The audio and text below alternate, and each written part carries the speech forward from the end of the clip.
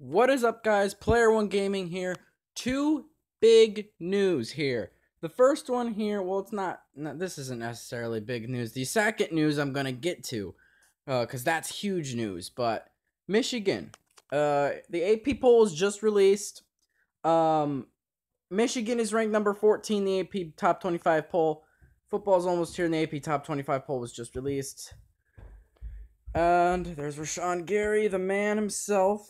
Um, they were they released at noon on on uh, today, and the Wolverines, Michigan Wolverines, made the cut, landing it on the list at number 14.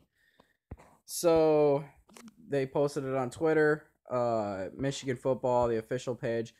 Now, Michigan's rivals ranked higher is Wisconsin going to be a four, Ohio State at five, Penn State at 10, Michigan State at 11, Notre Dame at 12. Now, I'm actually surprised that Ohio State is under Wisconsin. I am really surprised about that. Like, I, I would not do that. Like, I don't think that's right. I would say Wisconsin, eight or nine, maybe seven. I would say Ohio State, like two or three. Could be number one, really. But, uh, uh, yeah, I don't agree with that. I think they should be flipped. Uh, I do think Wisconsin should be in second, but Ohio State should not be one ranked even higher. Or I mean, Wisconsin should not be ranked one higher than Ohio State. I just don't agree with that. But whatever, it doesn't really matter. I know this is just you know this is before the season starts. We don't really know for sure, and it really doesn't mean much. Uh, but uh, and another thing, we can't lose any of these games at least we can't lose all of these games. We can't lose all of these games. Not not any of these games. We can lose maybe one or two of these. It's fine. Like if we if we can beat three out of the five here, I'd be happy about that. It, it, depending on who which teams they are. If we can beat if we can beat Notre Dame, we can beat Michigan State, and we can beat either Penn State or Wisconsin. I'll be fine. I'm not expecting us to beat Ohio State, so I'm not gonna say, oh, uh, I, I, we have to beat Ohio State, or I'm just not gonna like Michigan football anymore. That's not going to be the case. But That wouldn't be the case even if we lost all these games. But we cannot lose all of these games. I would probably kill myself. I'm kidding. I would not kill myself, but I would be, oh gosh, I would be so depressed for a long time if we lost all these games. But uh, yeah, Wisconsin, Ohio State, Penn State, Michigan, Notre Dame, all ranked higher. Uh, this is actually what the rankings we're going to see during the Michigan Notre Dame game. So right next to the, our, it's going to say number 14 Michigan at number 12 Notre Dame. So that's what you're going to see for game uh, one, week one on September 1st at 7:30. I'm actually going to game day. I'm going to game day. In, it's in. They're having week one of college game day in South Bend, Indiana, for Notre Dame and Michigan. I will be there and I will try to live stream. I'm not guaranteeing that it'll it'll happen. Maybe I'll record a video, maybe I'll live stream. I'll try my best, but I don't know. I don't know at this point. It seems unlikely, but I'll try.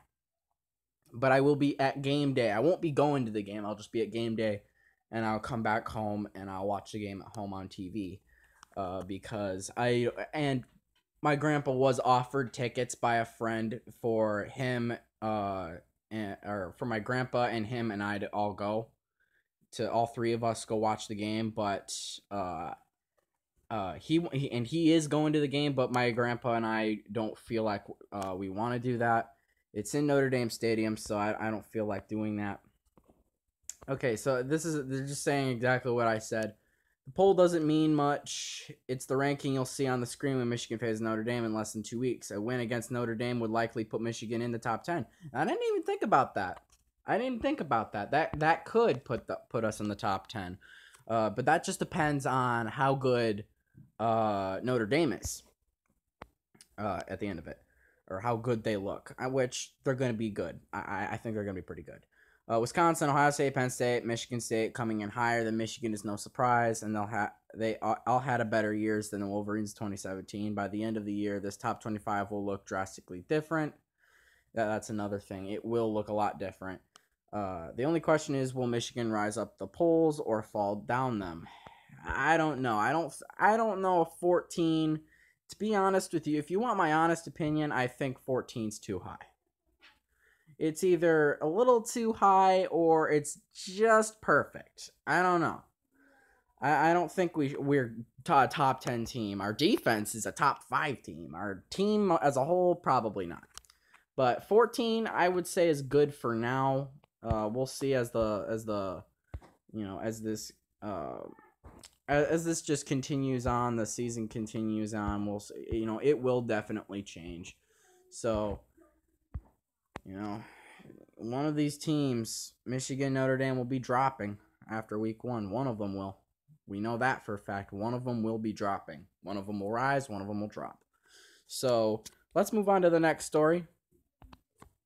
So as you guys can see here, uh, the second news we've got here is Jim Harbaugh has confirmed it. He says Shea Patterson will be Michigan's starting quarterback, and this is actually surprising to me that he told us now. Uh, I didn't think he would until you know I didn't think he would say anything about it, and we would just find out uh, you know in the first game of the season. Uh, but as of four hours ago, we haven't we do know who will start. Um, uh, Jim Harbaugh let the cat out of the bag. Uh, what? Let's see. Get past the ad. Michigan's head coach told a group of supporters during a luncheon in Ann Arbor on Monday that the team's plan is to start junior Shea Patterson at quarterback when the Wolverines visit Notre Dame on September first. Uh, that's that's him right there in the back. Um, the Free Press confirmed Harbaugh's comments with a person who was at the event. Michigan football spokesman Dave Ablouf or Abloff or whatever it is also confirmed the news. As Harbaugh told Al- Alums at the M Club of uh, uh, Ann Arbor's Monday luncheon held at Weber Weber's Inn in Ann Arbor. Harbaugh told the team his decision earlier in the day, Monday. Patterson, who transferred to Michigan from Ole Miss during the offseason, beat out redshirt sophomore Brandon Peters, redshirt freshman Dylan McCaffrey, and the true freshman Joe Milton. Uh, and that's more there. Michigan football, Shea Patterson among ESPN's top 50 players for 2018. I don't know about that. We'll see. Uh, Michigan State football tops Michigan preseason AP poll, which we just talked about. Uh, he passed against Alabama in 2017. A week ago, during his only fall camp meeting with reporters, Harbaugh said he hadn't made a decision with with regard to his starting quarterback, only saying he wanted to make up his mind sooner rather than later. He mainst- maintained that there wasn't a great deal of separation between his quarterbacks at the time, claiming that the heightened co- competition brought on by Patterson's arrival had increased the level of play throughout the room. That position has been very competitive, probably one of or our most competitive position battles going on. Harbaugh said at the time, and like I said, none of them have given in. None of them have dropped off. So it rages on. Uh, that must be him. Oh, that's a video. I don't want to watch it. Uh, that process has been completed, and while it comes as little surprise, this is the first time since taking the job at Michigan that Harbaugh has publicly named a starting quarterback before his team has taken the field for its season opener. The Wolverines did not formally name a starter in 2015, though most believe the job was Jake Rudock's throughout. Wilton Speight beat out John O'Korn and Shane Morris during the final days of camp in 2016, and Spate edged O'Korn just before the start of the 2017 season a year ago. Now, Michigan has two full weeks to pr- to rep Patterson with the starting offense. Oh gosh, really, really? It's only two weeks away. Come on, man. You need to slow down time. Um, with 10 starts, 3,139 career passing yards, and 23 touchdowns, along with 12 interceptions, Patterson has more major college playing experience than his three competitors combined. Peters is the only other quarterback on the roster who has seen game action, throwing for 672 yards, four touchdowns, and two interceptions in six appearances last season. After opting to transfer to Michigan in December, Patterson, who eventually won a lengthy appeal for immediate eligibility, from the NCAA, was able to take part in all 15 of the Wolverine spring sessions. Well, that's a good thing. Uh, Michigan players and staffers have raved about his mobility and overall pocket awareness, both with the Wolverines' traditional offense and any speed wrinkles that the team has put in place over the course of the past year. Patterson's biggest hurdle in spring was familiarizing himself with his surroundings. Every day is a work in progress. I definitely feel comfortable and I have great coaches helping me, Patterson said back in April. But the reputation, repetition, repetition.